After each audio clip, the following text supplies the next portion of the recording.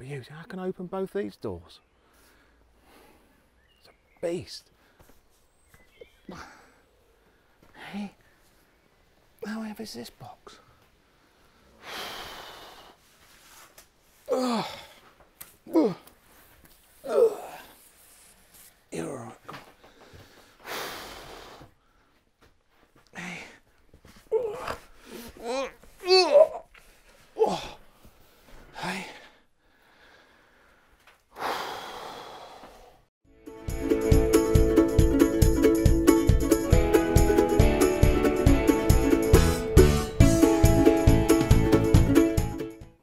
We doing?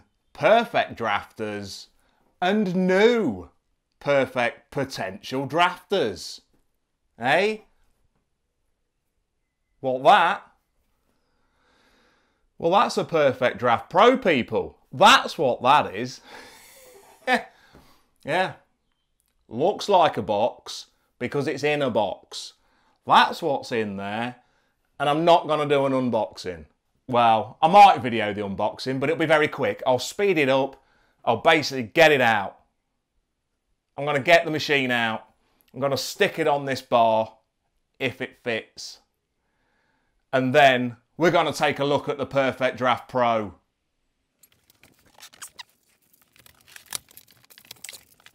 Welcome.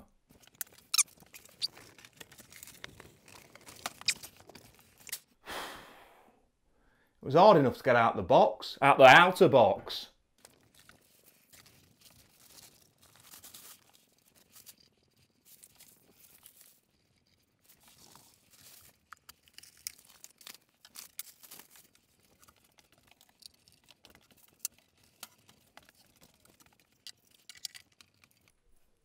Hey, there we go. So, looking at my little timer, I wasn't really timing, but I have got a microphone thing on, which does show me how long I've been recording my ridiculous voice for. It's around about seven minutes. Seven minutes. A lot of that was me faffing away, getting it unboxed, getting the old sellotape off and stuff like that. So I reckon a decent kind of unboxing would be about five minutes. Right, what we got in there, we got in the machine, thank the Lord, the machine was in there, happy days. With the weight of it, the weight of that box, I pretty much was certain the machine was in there, and it was.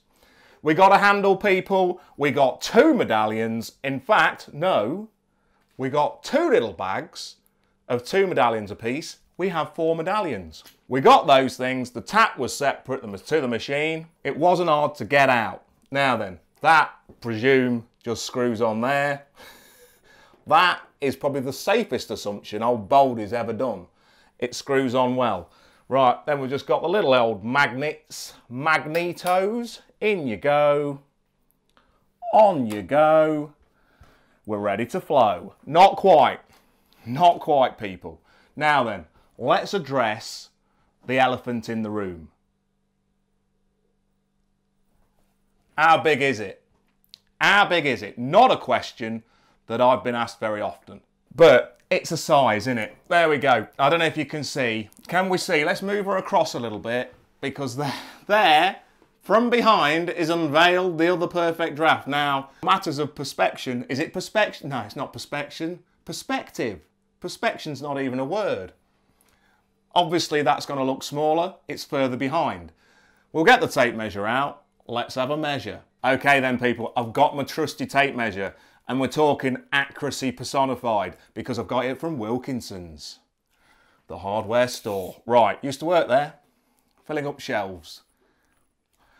All right, so we're looking height-wise, people, of the actual machine, we're looking at 17 inches. If you're looking in centimetres, you're looking at 43 and a half.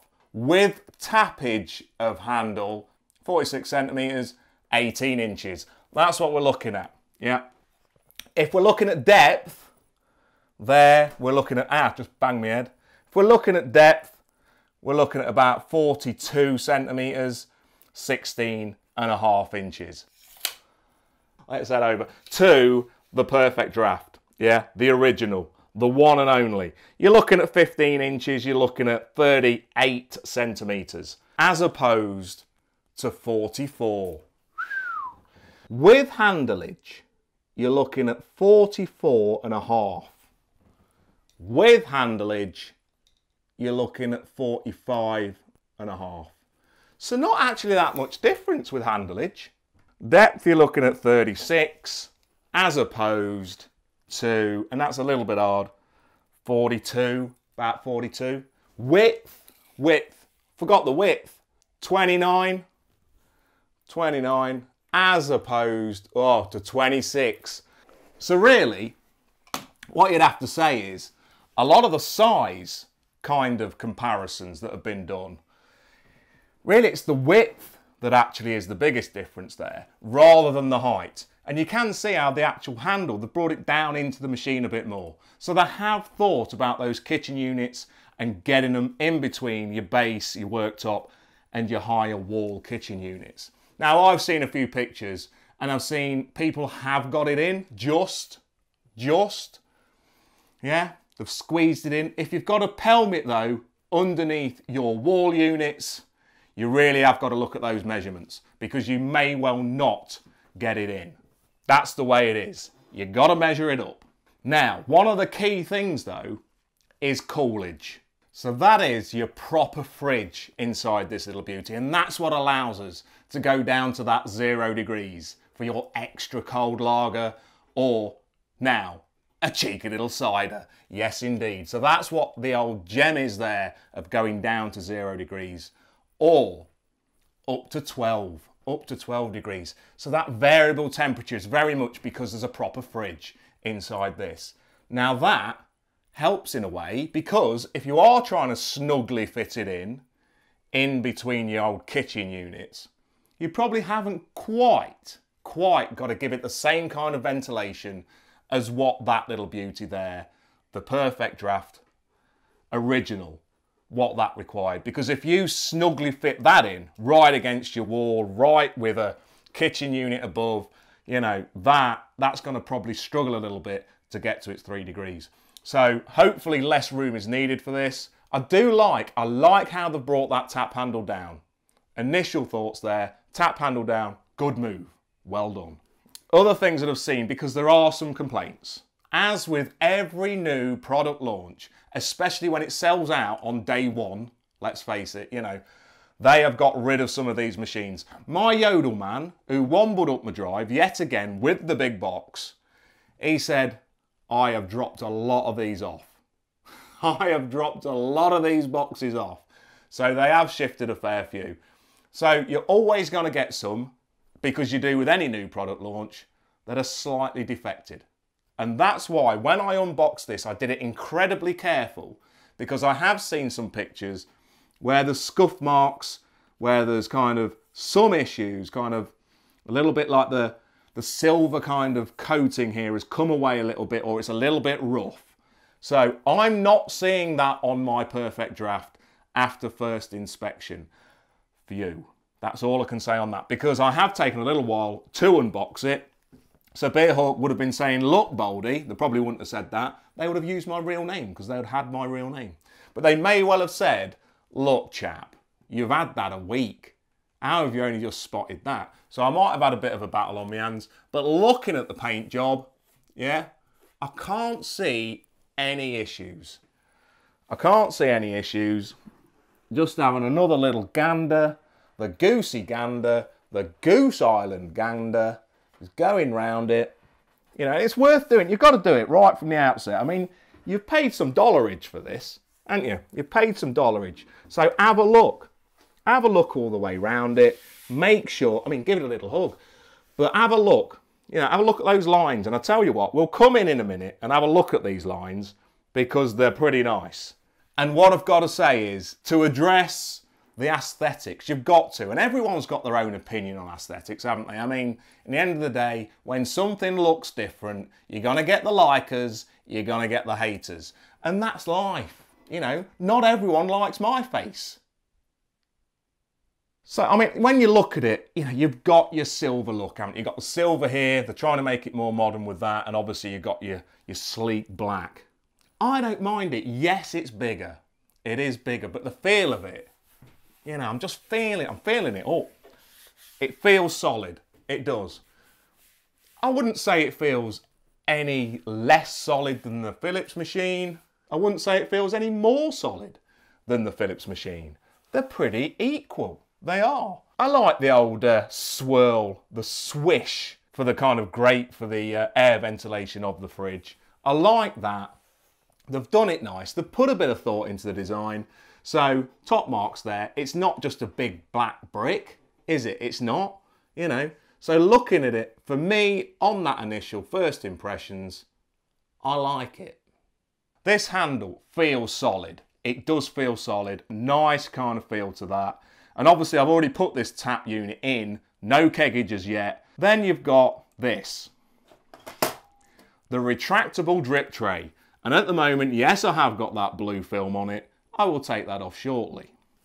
So that, again, that's a nice little feature. I assume it can come out quite nicely for cleanage of the drip tray. It can. Look at that. You slide it out, you've got it to wash up, and that also, yeah, that also feels solid. Not bad at all. Let's pop her back in.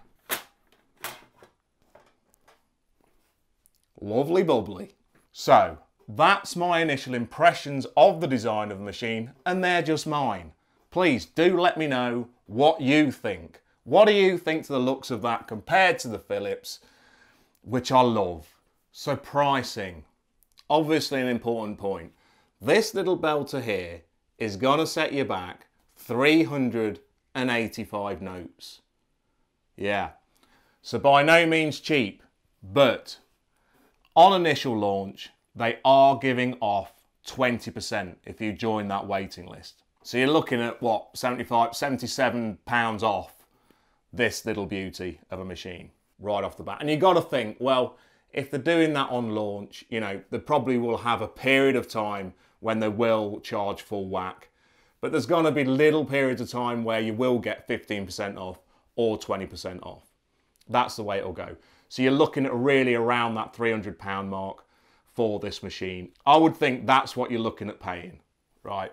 The trade-in scheme of 150 pound in beer tokens, that may or may not happen in the future. But with the original Perfect Draft machine, what you got to think is they generally gave off 15% or 20% at various periods throughout the year. So you got to think with the markup they've obviously put on this, that's the kind of discount that they would generally give away. So that's the pricing of the little belter. It takes the same kegs, so no difference in price there. So what I'm going to do is this. I'm going to put a keg in the original and I'm going to put a keg in the Perfect Draft Pro. We're going to go down to 3 degrees to make it a fair test and see how long it takes the Pro to get it down to 3 degrees compared to the original. Now, I'm not expecting you to wait with me while that happens. So I will do that for you. I will set a timer on my phone and then I'll come back and give you the results. And what you will see is that both of these machines are off at the moment. And I thought that's a fair test because the original, you know, that cools from the metal plate at the bottom.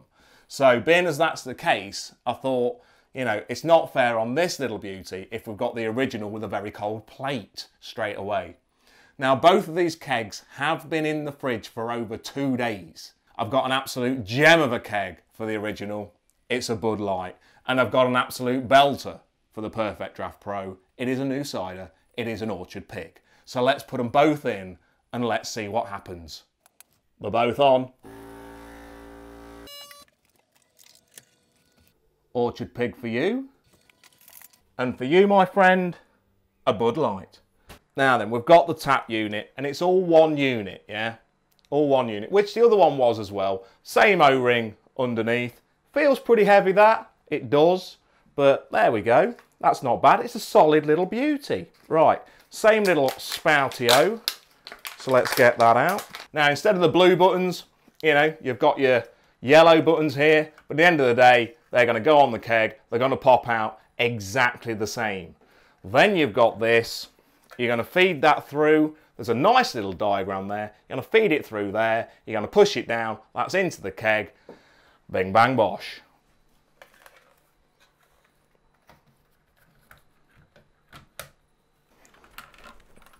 Nice solid push down. That went on easy enough. That goes through. That, that's very easy.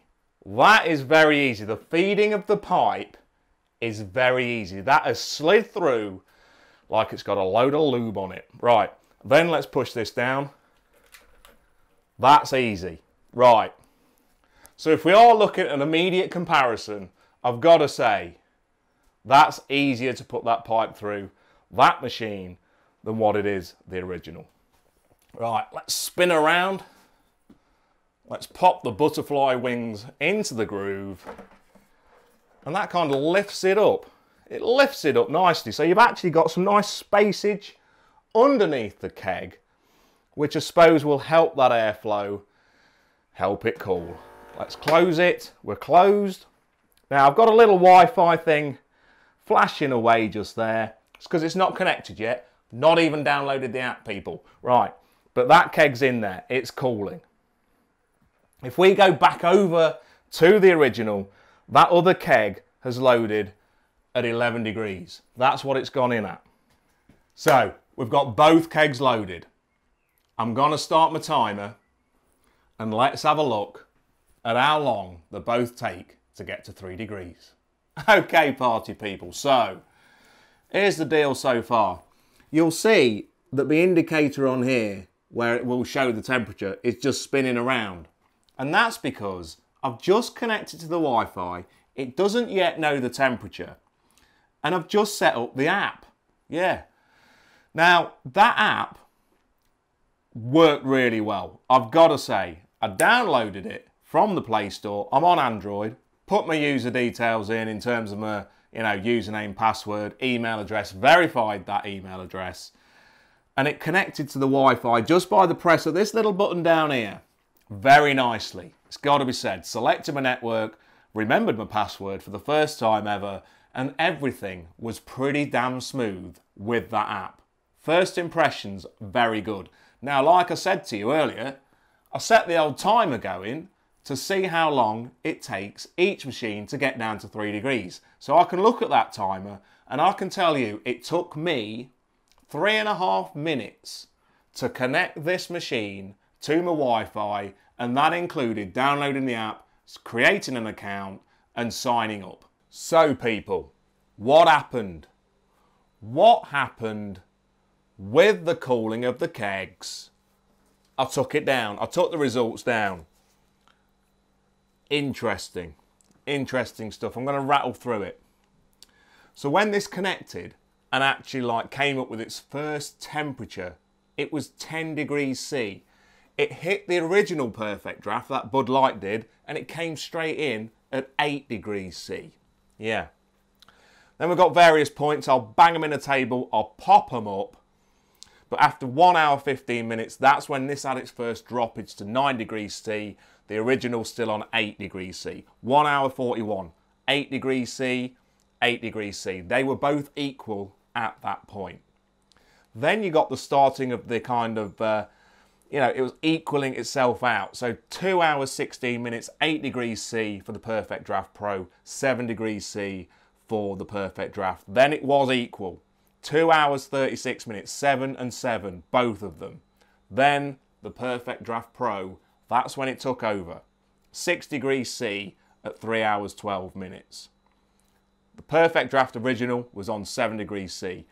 Then you can see what happened here. We got like 5, 5, it was like 7 and 6 for the original, 4, 4, 6 and 5 for the original. After 4 hours and 14 minutes, the Perfect Draft Pro had it down to 3 degrees C. The original, 5 degrees C. And it took the original until 4 hours 50 minutes to get to that 3 degrees C. Now, to be fair, I expected more from the Perfect Draft Pro there. I thought it was going to be straight in and kind of cooling and down to temperature. Maybe my expectations are a bit too much. But within an hour, that's too much. It was too much. Then I thought, you know, it's got to calibrate, it's got to get its gear going, it's a fridge. I mean, it may well be different when you're putting the next keg in. Now, the thing is about the Pro, because that is a fridge in there, you know, a proper fridge all the way around rather than that kind of cooled metal plate. The consistency of that temperature, when it gets a bit warm, and in this kind of pub shed that I've done, it does get a bit warm in the summer months. I'm hoping this stays consistent. Can't tell you that now, but I will tell you that, people, in the future. Yes, I will. So that is your cooling. What next? Noise. Now, I'm not sure if any of the noise from it's being picked up here, but let me tell you this. I doubt it is because that is silent. Let me put my lug hole to it. There's a very quiet hum. A very, very quiet hum. Let me go to this. Pretty much the same. Obviously, there'll be a bit of noise when the compressor kicks in. Let's have a look at what that's like. But generally, the noise is low. If you've got one that is humming like a hummingbird, mm-mm-mm, probably something wrong with it, maybe, because that, that ain't noisy. I tell you what I can really hear, my sub-cold fridge again. Yeah. Yeah, that, that's noisy. And to be quite honest, it's got hardly anything in it. I'm tempted to switch it off. Anyway, that's irrelevant. So the only other thing that I can comment on before getting into the pour, because I've got a little idea around the pour as well, is warranty. Now, my experience of the Philips Perfect Draft warranty is none. Nothing's ever gone wrong with it.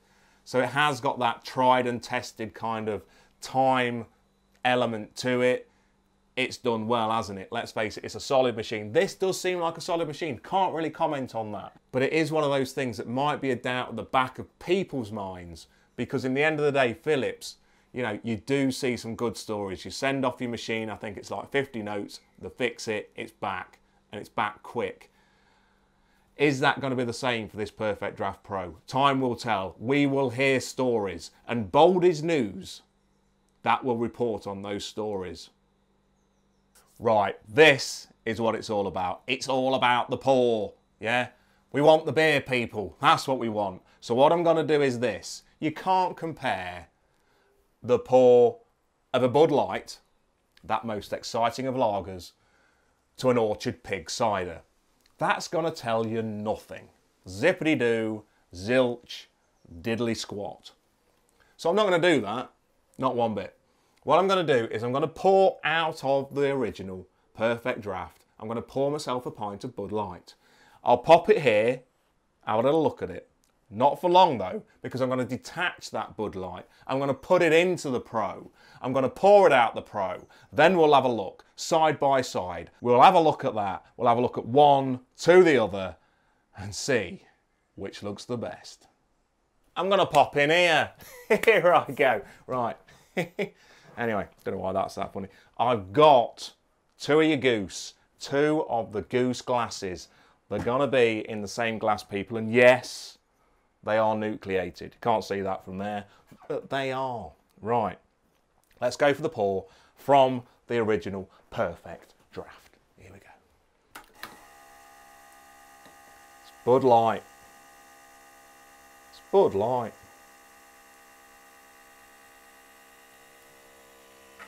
Right. Now, as you can see, that is genuine 100%. 100% first pour from Baldy. You can see that because look at that foam head and it is the first pour. It will settle, but that is the first pour of that keg right there. And I think that counts for something. I've done nothing to wet the whistle, nothing at all there. Let's get that keg out quick before disaster strikes. Let's get it into the Pro. I do like that door just there. There's less, less swingage of that door. You know what I mean? You only open it one way, like that, rather than both of them going. That, that's easier. We're going in. I'm a bit cack-handed there, but we're going in. Easy does it. In she blows. Close she goes. Close she goes. The Bud Light is now in the Perfect Draft Pro. So just that quick swappage there. The original straight up saying 5 degrees C for that orchard pig. And let's face it, that was out a matter of seconds because of Baldy's swift kind of exchange. Now onto the Pro, that is still snaking around in it. It's looking, it's checking, it doesn't know what's going on. At the moment, I don't know what that's down to. Okay, so what we can say is that the perfect draft original is now down to three degrees.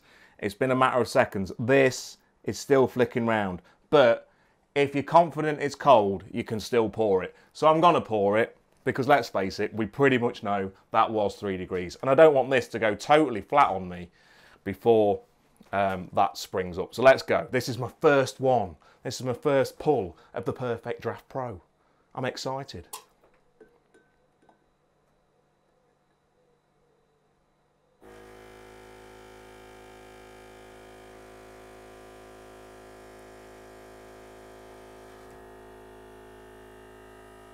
Okay. So immediate impressions was that's not quite. What I'm going to do is run both of those kind of bits of footage together um, just to see what the difference is in head. But this is the very first pour from here. Now, some people may say, but Baldy, that pipe wasn't being chilled quite as much as what it normally would be because it was in the original. Let's not get that too detailed, people. Let's not go down that path. But what I'm looking at right now is this. I'm looking at these two pints side by side. I really am. They're like brothers in arms, both been handled by the perfect draft, by the perfect draft system, but one by the pro, one by the original. I'm looking at it. I'm seeing zero difference in carbonation. Probably slightly faster moving bulbs from the pro, but maybe there's been a little bit of time for that to slow down from the original one. This has obviously lost its head because I was faffing about changing the kegs. Clarity wise, they're identical, absolutely identical. I guess there would be. If I was going to say I noticed one slight difference with it, this has got a bit more of a compact foam head on the Pro compared to what the original had. That, people, is my first impressions. But it's about the suppage, isn't it? Let's have a sup. it's about the suppage. I mean, what you have got to say is obviously all the techie tech kind of fancy gimmickry that there is on this, and you can still forget to pull out the drip tray. Now, which I did, but all the fancy, fancy gadgetry that you get on this, it didn't tell me straight away, like the original did, what the temperature was of that keg. That that's been confidently displaying both 5, 4 and 3 degrees straight away. I banged that keg in, it knew what was going on. This, this is still, I don't know, ticking round, going in circles. It wants to communicate to my app. My app's going, not here or something like that probably. In the end of the day, can't just tell me straight off the bat, can it? Right. But here we go. Right, this does seem to be, I know this, is, this has been poured longer, but this does seem to be keeping its head slightly better, I would say. I'm going to go for the original first. Here we go. I mean, first beer out the pro, and it's a Bud Light. Cheers, people.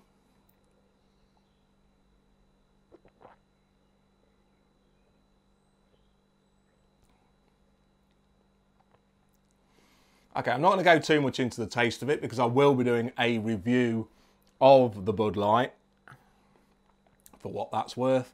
But basically, temperature wise, yeah, I've had many a lager out of that original perfect draft. It's good. Three degrees for a lager, yeah, you can't moan that. And the mouth feel and stuff like that, you know, yeah, it's it's Bud Light. Right, then onto this. This is from the Pro.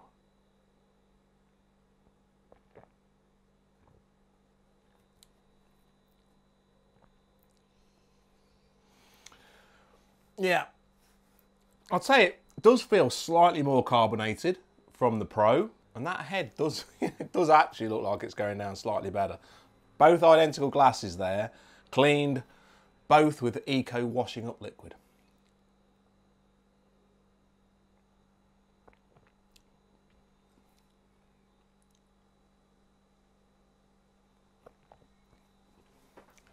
very little difference in taste. I don't think there's any difference in taste whatsoever. Um, slightly more carbonation. It feels out of the Pro. Might just be coincidence. Might be just because that one has stood probably for about a minute and a half more, probably two. So, yeah, in terms of your taste of a lager, there, what I would say is zero difference. Zero difference. But there we go.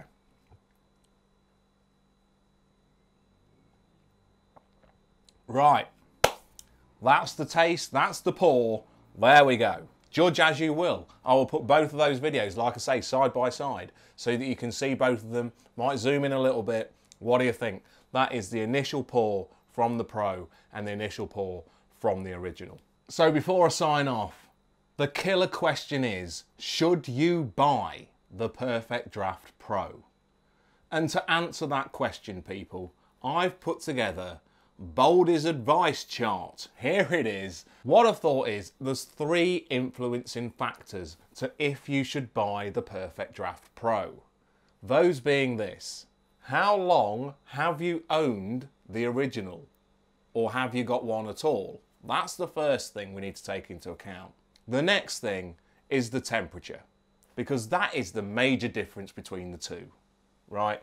So basically, what temperature do you need for what you like, right? So you can go from 0 to 12 with the Pro. We're going to look on this chart and see if it's a tick for yes, you should plump for a Pro, or a cross for just to stick with your original, or maybe even just buy an original because it's cheaper if you haven't got one.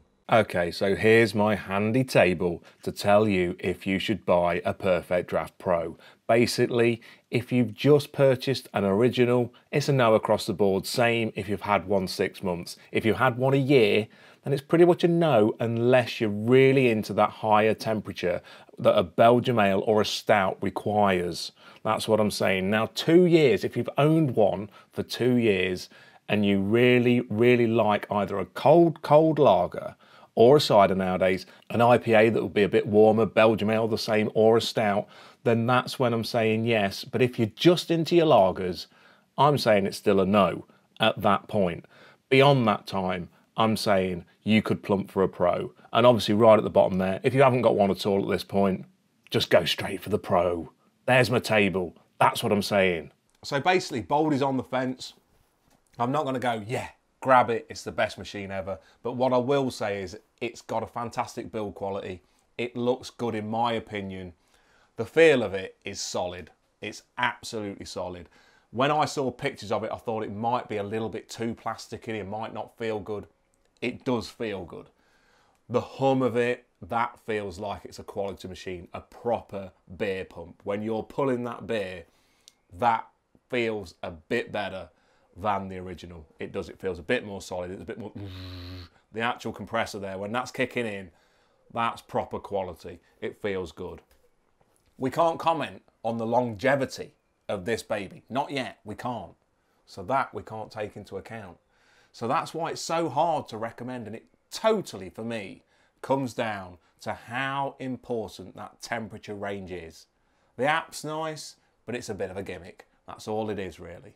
But anyway, hope you enjoyed that, people. Please, if you've got a Pro, comment below. Let me know what you're thinking to it. If you're considering one, please ask questions. I'll take a look. I'll have a look at anything. You know, if you want to know the measurement of that handle just there, or you're questioning why the little rubber spout bit comes out the bottom, ask it. I'll see what I can do. I'll answer it. I like to answer people. So yeah, please comment below. If you haven't seen my videos before because you're considering a Perfect Draft Pro and that's why you've come across this now, please subscribe to the channel because if you ever get one, it'll be a good channel for you, hopefully, hopefully. But beyond all of that, people, and I know this has been a little while coming, but I wanted to make it a half decent review. Beyond all of that, it's summertime. It's a happy time. No matter what machine you've got, if you've got a sub, a blade, a Perfect Draft Pro, the original, whatever you've got, or if you've just got a few tinnies, a few bottles, and the cool, happy days. Enjoy your beer, enjoy the sun, have an absolute belter of a weekend, people. But for now, cheers, perfect drafters. Cheers.